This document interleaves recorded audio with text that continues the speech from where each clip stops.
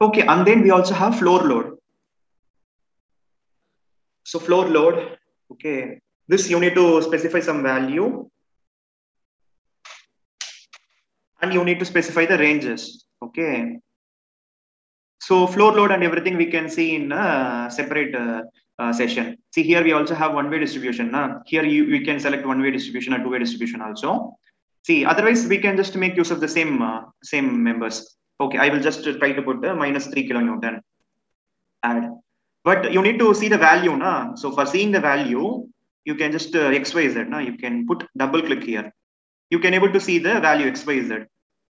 Okay, for example, I will uh, select this minimum 640. You need to put here the same. So 460. Okay, you can put 4. Uh, this is minimum 460. And at the same time, this one 485. 4, 8, and then 5. Okay, now it is like a two-way distribution because we are not selecting it. Click add. Okay, can you able to see automatically coming the floor load in two-way distribution? In plan, we can able to see how it looks like. This is two-way distribution. If you're changing that to uh, one-way distribution, longer direction it will change. See, this is one-way distribution. This is what the difference. In floor load, we can go for two-way and also one-way loads.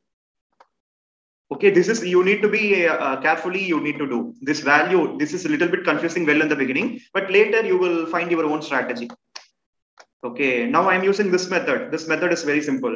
Okay, you can use any of the methods to find the value x, y, z.